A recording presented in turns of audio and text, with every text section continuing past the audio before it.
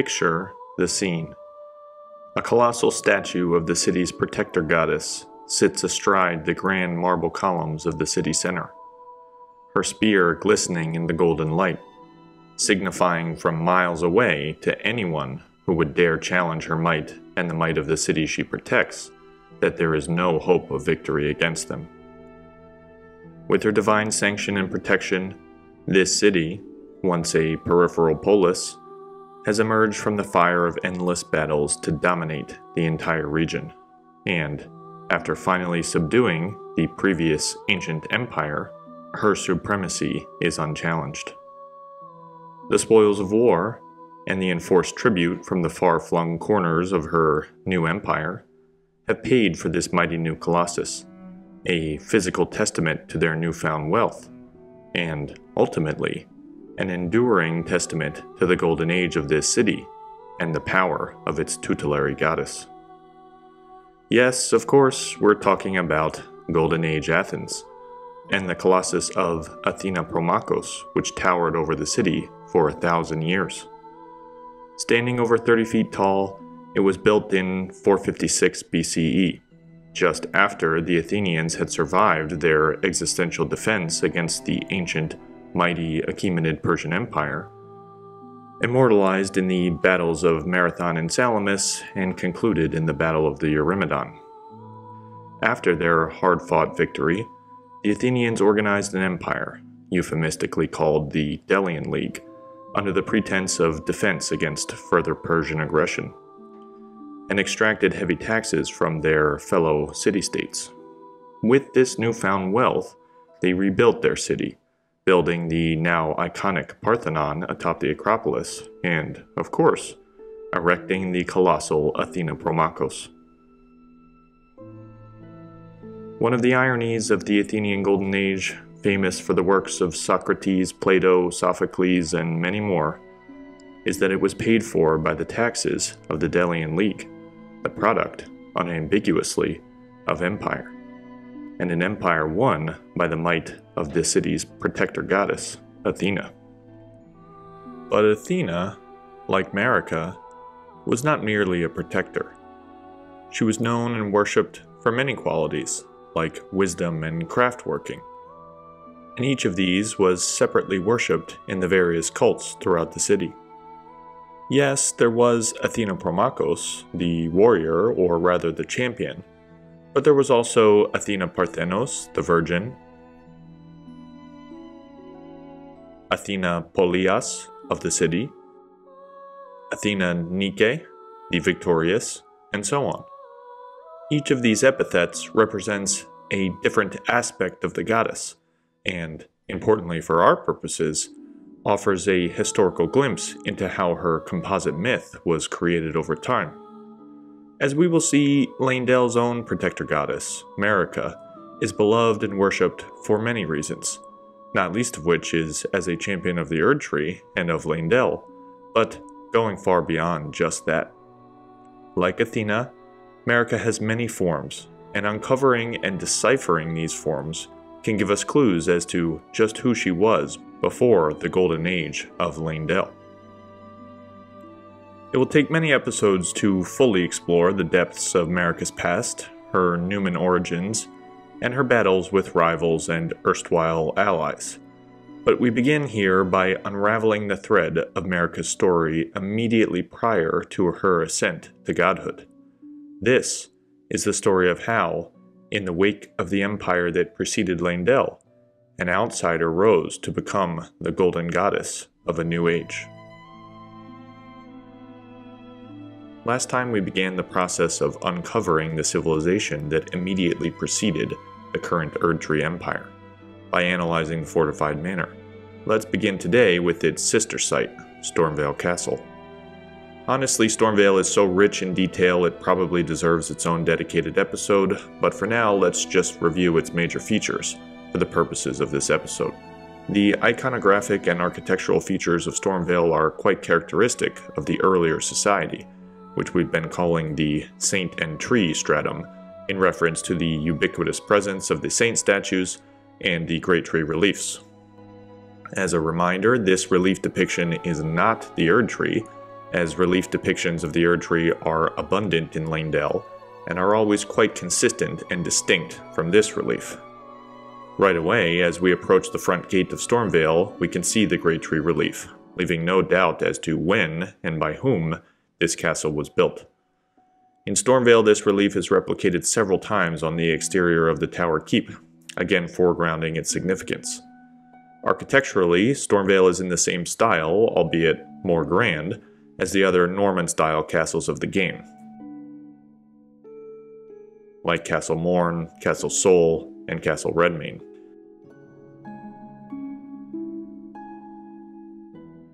And yes, the fortified manor, aka the Round Table Hold. If we leave aside for a moment all the Golden Lineage banners and Banished Knight paraphernalia, one of the other major features of Stormveil is the presence of the hawk statues, like the grotesques seen at Notre Dame or St. Vitus cathedrals, which we also see in the fortified manor. Finally, of course, we have the saint statues, which can be found in various locations throughout the game. So far, nothing all too surprising, since we already know Stormveil belongs to the same culture and era as the fortified manor. But there are two extremely interesting areas of Stormveil which bear specific mention. The first is the processional way that leads to the hidden face of Godwyn.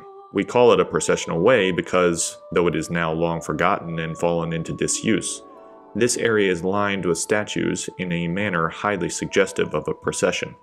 You can see that while some of the statues are destroyed, the remaining ones are placed on pedestals and correctly oriented against the flanking wall. This is not what you would expect if these statues were simply discarded down here. Rather, this appears to be an area which was used for a very specific purpose, though long ago. The statues themselves are highly interpretable. The saint statues, either the book or sword version, are mostly destroyed while the only two that remain are libation statues of a woman pouring out sacred sap blessings of the tree. We'll just call these libation statues from now on, since they are in the form of a common artistic historical motif of the libation, the ritual of pouring out a liquid, usually water and or wine, as an offering to the dead or sometimes to gods. These libation statues are identical to the bronze versions we see elsewhere in game. More on that in a moment, but here in Stormveil, they are clearly made contemporaneously with the saint statues, as they are made of identical material and rest upon identical pedestals. We only find these statues in the Saint and Great Tree stratum, and in fact we've already noted on the doors of Fortified Manor, we can see the Great Tree relief below a lintel depicting a full libation scene. So we can therefore only conclude that these statues do not depict the bestowal of blessings of the Erd Tree, Rather, they show the blessing of its predecessor, the Great Tree.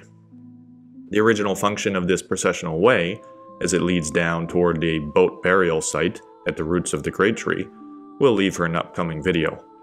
But this area speaks to what Stormveil was like when it was first built, and there's no doubt, along with the Great Tree reliefs that adorn the front gate and inner keep, that Stormveil was built as part of the Saint and Great Tree Empire, before the age of the Erd Tree, and it had a religion based on great tree libations, poured out by cloaked priestesses.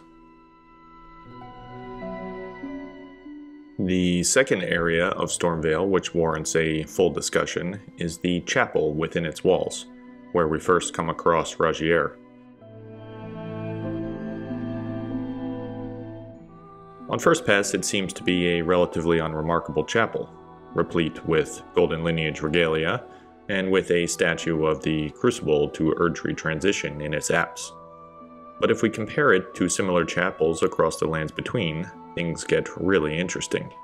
You see, there are four nearly identical chapels in game, and together they tell a striking story.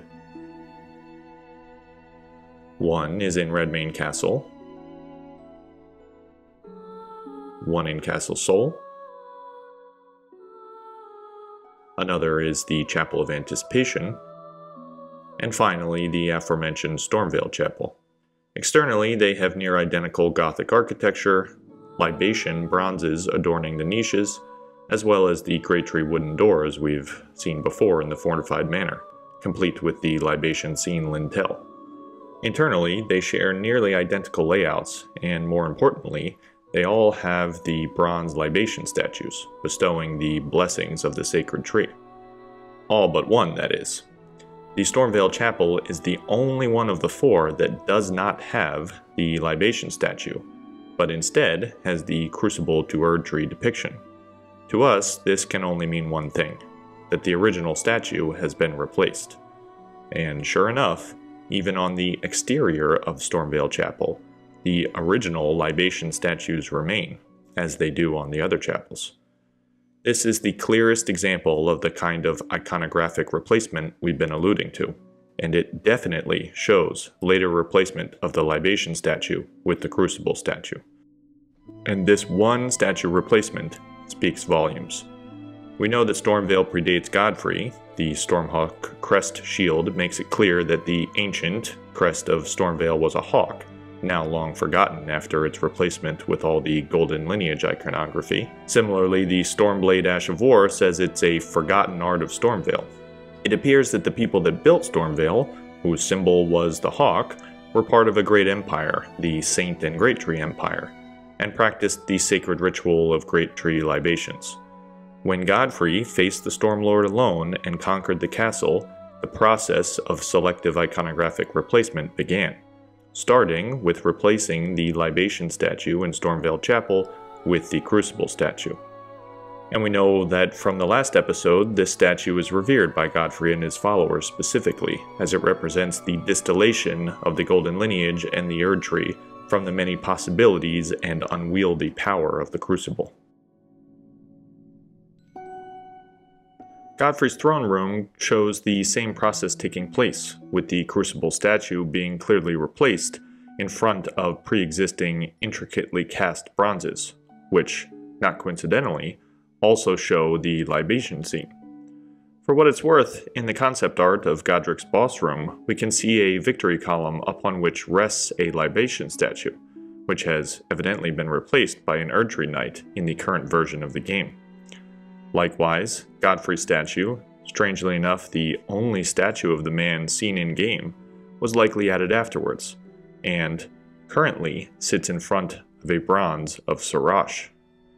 And though it is difficult to say for sure, based on comparisons with the other castles of this period, like Castle Morn, Castle Redmane, and Castle Sol, as well as the long forgotten older areas of the castle, it seems likely that even the characteristic golden gilding of Stormveil is a later addition, the ultimate symbol of the decadence of the new regime.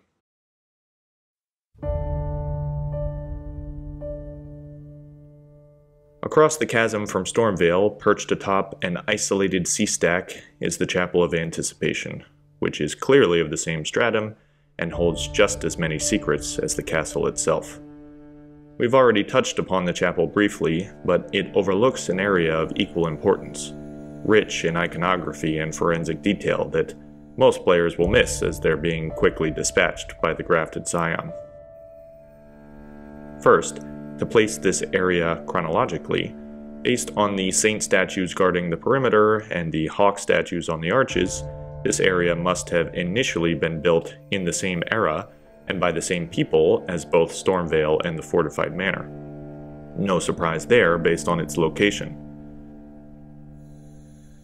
The crucible symbol is carved into the central plaza, just like the one we see carved into the round table itself, linking these two as the only physical representations of the crucible symbol in game.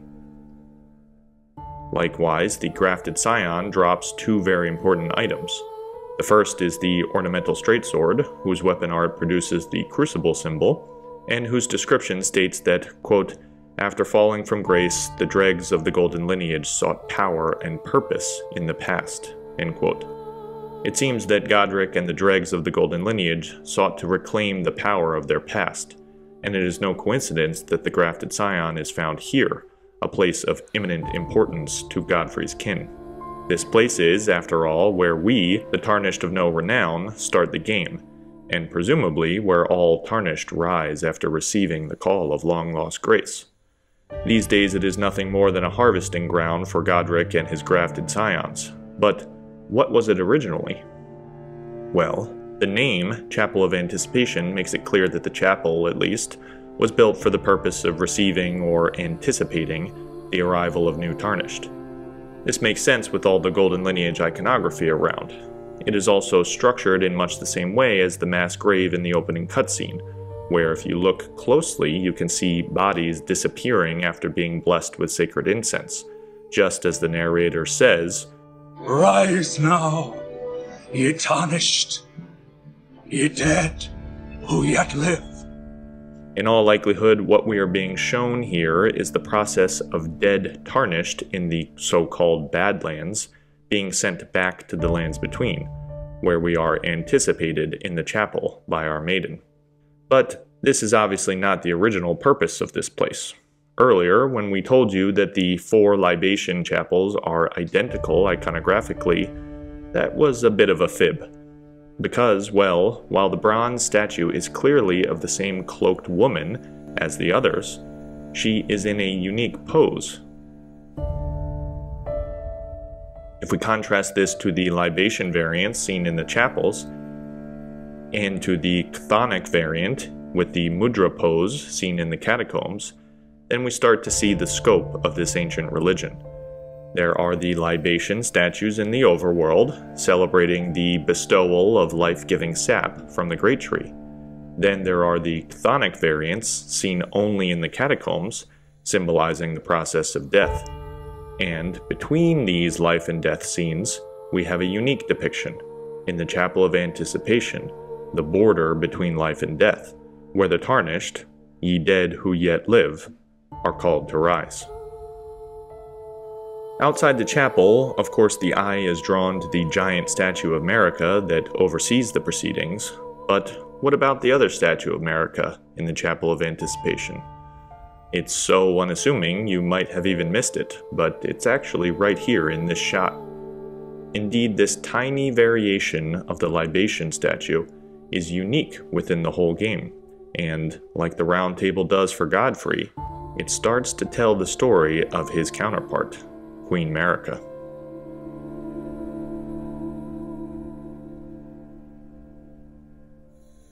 Last time, we used the fortified manor, aka the Round Table Hold, to peer behind the curtain of Godfrey's legacy, and we concluded that he and his closest circle of knights who drew power from the crucible, made a vow with Godfrey, who became their lord, an act symbolized in the Round Table itself. We also explored the inspirations of Godfrey's story from Celtic Britain and Arthurian legend. That process continues here. For example, the golden beast crest shield that the grafted scion drops is clearly based on a real world artifact called the Battersea Shield, one of the most significant examples of Celtic, or to be more specific, La Tène, art found in pre Roman Britain. So obviously, the developers are drawing heavily on Celtic inspirations for their story of Godfrey, his Crucible Knights, and the Golden Lineage. But what about Marika? Well, even Marika's legend is opaque, let alone her actual story. Her legend, like that of Godfrey, seems to draw heavily on British legends from the edge of the Roman Empire. Aside from the obvious allusions to the imagery of crucifixion, the inspiration for the distinctive pose of her statue, which is found in every church of Marika and even in the opening cutscene, seems to be a famous Victorian era bronze statue of the Celtic British queen Boudica. Boudica was a warrior queen of a Celtic British tribe called the Iceni, neighbors to the Ordovices and Silures, who give their names to the twin heads of Godfrey's Crucible Knights. Like Arthur, much of Boudica's story comes from much later legend. But from Tacitus, we at least know that she was a great warrior of the Iceni tribe who rebelled against the inexorable Roman advance through Britain in the 1st century AD. Though she famously lost this rebellion and was in fact killed, she is remembered as a hero of British history, as a warrior queen who united her local tribesmen under the banner of independence, sort of a proto William Wallace character. Victorian era Brits in particular loved her story, and during that time, her two most famous depictions were commissioned. One, finished in 1905 and still standing near Westminster Pier in London, shows Boudica and her daughters riding gloriously off to battle in a war chariot, seemingly the inspiration for Marika's distinctive pose. And the other famous depiction of Boudica, not as a warrior queen, but as a mother, is also perfectly mirrored in the other depictions of Marika, embracing her two young children. Of course, it's difficult to say for sure, but perhaps even the name Marika is a fusion of Mary, Mother of Christ, and Boudica, a fusion of Christian and British female heroines to create a terrifyingly powerful, yet pious and maternal God Queen for this new world. Of course, we can't take this inspiration too literally, but it is interesting to note that Godfrey's Arthurian inspirations the names of Ordovis and Siluria, and Marika's inspiration from the legend of Boudica, all tell stories of heroes at the edge of a waning great empire, the Roman periphery of Britain. These were peripheral peoples who either resisted, collaborated with, or succeeded the Romans in the British Isles. Godfrey and Marika's Erdtree Empire did not spring from nothing. It rose from the ashes after the collapse of its predecessor, the Empire of the Great Tree. That is why all of the early Godfrey and Marika iconography is shared with this earlier stratum, best exemplified in the fortified manor and the Chapel of Anticipation. Marika and Godfrey were peripheral people who turned the cataclysm of imperial collapse into an opportunity to forge a new kingdom under a new sacred tree, the Erd Tree. And just like the legend of Arthur, the legend of Boudica clouds much interpretation of her origins. Of course, she is now remembered as a great but tragic warrior queen, but who was she actually? Likewise, what does the game actually tell us about Marika's origins? Well, we know she was an outsider, a Numen, and related to the Eternal Cities. We know she was an Empyrean eventually chosen by the Fingers, clearly not forever an outsider.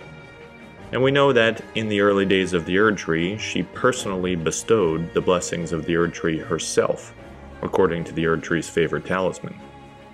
And if we take a closer look at that talisman, we can see exactly what this means in a more literal sense. Marika would pour out the sap blessings of the Erd Tree from a sacred vessel. If you want more context for the ultimate meaning of this, please check out our videos on Erdtree Births and Elden Ring's Circle of Life.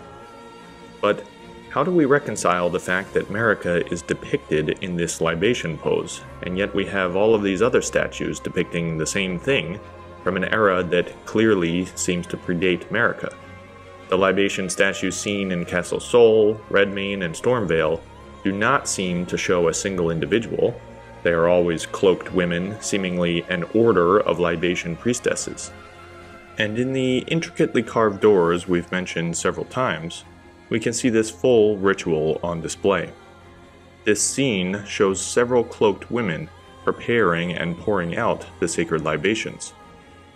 But there is one libation statue that stands apart from the rest, and it is right here in the Chapel of Anticipation, Above the archway, in a tiny niche, sits a statue made of newer marble, and likely a later addition, depicting a woman, not cloaked like the rest, but with beautiful long hair, bestowing the sacred blessings.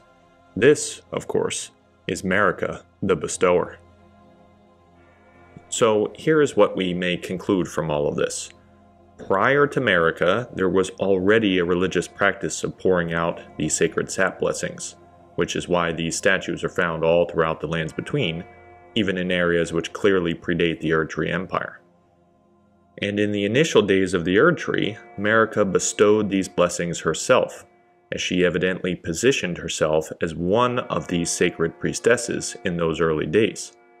Since we now know that this was an order of sacred priestesses which long predated Marika and was associated with the Great Tree, it seems that Marika's innovation was, as the Great Tree Empire was lost during the Age of the Crucible, to tie her fate to that of the nascent Erdtree. This time, instead of a whole class of cloaked priestesses who would bestow the blessed sap of the sacred tree, Marika was the sole bestower of the Erdtree's blessed sap. If you've seen our analysis on sap baptisms, you will know what comes next. Marika is the one who controls the orthodox birthing process of the lands between. But this wasn't always the case.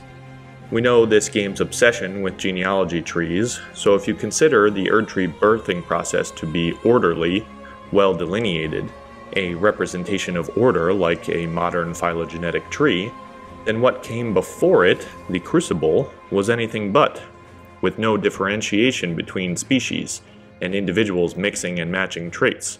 Perhaps it's no surprise then that before the age of the Erdtree, in the age of the crucible, birthing was more chaotic, even amongst Marika's own children. While it is often assumed that Godwyn was her firstborn, our new understanding suggests that her children with Godfrey during the age of the Crucible, the age whose end is symbolized in the Crucible tree statues, were Mohg and Morgott, and that the reason she so vehemently supported the transition to the age of the Erdtree was, in fact, the disgrace of these omen births. Perhaps Godwyn was the first of her offspring to be born by the new orthodoxy of Erdtree birthing. When she says, The Erdtree governs all. The choice is thine. Become one with the order, or divest thyself of it, to wallow at the fringes, a powerless upstart. She is clearly speaking to Godfrey here, who began as a powerless upstart at the fringes. But she is trying to convince him here to abandon his old ways and to fully embrace the Erdtree and the Order. Again, this is precisely what is symbolized in the statues in Round Table Hold the chaotic crucible becoming the orderly, singular Erdtree, and the birth of the Golden Lineage, a refinement into a proper phylogeny. Marika convinces Godfrey to abandon these old ways and usher in a new age. Everything that was associated with the power of the Crucible and its tendency to birth chimeras instead of cleanly delineated forms became taboo, even including Godfrey's closest knights. Isn't it interesting, then, that outside the walls of Leyndell we can find a collection of misbegotten, said to be disfigured due to their contact with the crucible? weeping. And amidst this scene, one misbegotten can be found praying to a saint statue. This was a time during the Saint Tree stratum, before the later orthodoxies of the Erdtree and the Golden Order, when the crucible was not taboo, but was still considered divine. At least some among the survivors in the lands between still remember that time, but they are few and far between.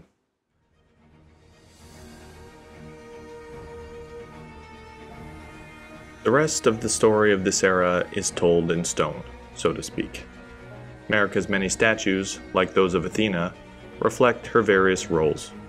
Marika the defender of the city, Marika the victor, and Marika the bestower of blessings. Together they tell the tale of her evolution from a member of an order of priestesses to the golden goddess of the age of the Erdtree. As we've established, there was a period in the Lands Between's history defined by worship of the saints, the priestesses who bestow sacred sap blessings, and of course, the source of the blessings itself, the Great Tree. The Great Tree symbol is found all throughout the Lands Between, as we've seen. But before we conclude, one place in particular bears special mention the Colosseums. They have the Great Tree relief, of course, but there's something else that's very peculiar about them. You see, a Roman Colosseum is circumferential, closed on all sides, what was called an amphitheater, meaning having theaters on both sides of the stage. The in game Colosseums, however, are actually not amphitheatrical, they are more like ancient open air theaters, with one side open to a vista. This may seem like just a matter of artistic freedom, but it's a curious choice. If the developers wanted a generic Colosseum, why go through all the trouble of modifying it? Well, in fact, the whole point of this semicircular design is to provide a fitting view for the spectators. If we take a look at the view from the three Colosseums, what are they actually looking at? They all face towards the central sea, and while two of them potentially face the Erd Tree, which of course would make sense, the Leyndell Coliseum actually faces away from the Erd Tree. How could this be? It's almost as if, when it was built, it was pointing towards a view which no longer exists. Perhaps it faced the Great Tree, the same Great Tree that is depicted on its doors, and the same Great Tree which has since been destroyed. Join us next time when we continue Marika's story and finally reveal the scope of this Great Tree Empire, its relationship to the Eternal Cities, its destruction, and how it led to the age of the Crucible.